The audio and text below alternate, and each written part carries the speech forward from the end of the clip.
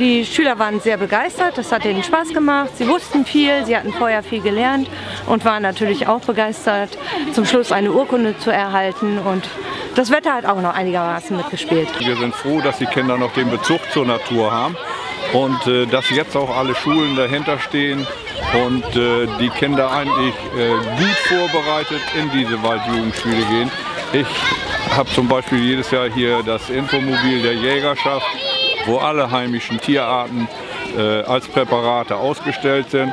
Und äh, ich war doch in diesem Jahr sehr überrascht, dass äh, so viele äh, Fragen richtig beantwortet wurden und die Kinder auch wirklich äh, viel Wissen über einzelne Tierarten mitgebracht haben. Also ich denke, das macht die Michael-Grundschule schon seit Jahren und die Stadt Papenburg hat das so toll organisiert, diese Waldjugendspiele schließen sich an an eine Unterrichtseinheit zum Thema Wald im Sachunterricht und ich denke einfach, dass das ein ganz toller Abschluss ist, neben der Klassenarbeit dann auch nochmal sein Wissen hier direkt vor Ort einzusetzen. Wir haben verschiedene Stationen. Es werden alle Sinne angesprochen.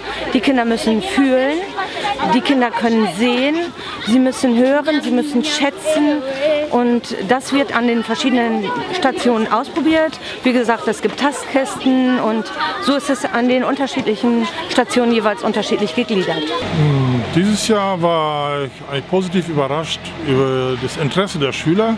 Das ist nicht jedes Jahr gleich und äh, das hat uns dann auch hier am Stand motiviert, als äh, Betreiber des Standes, in Anführungsstrichen als Kaufmannsleute für Klimaschutz, ja, uns nochmal extra auch Mühe zu geben und den Kindern was zu vermitteln. Also was ist äh, mir besonders aufgefallen, das ist das besondere Interesse, haben wir dieses Jahr äh, besonders festgestellt.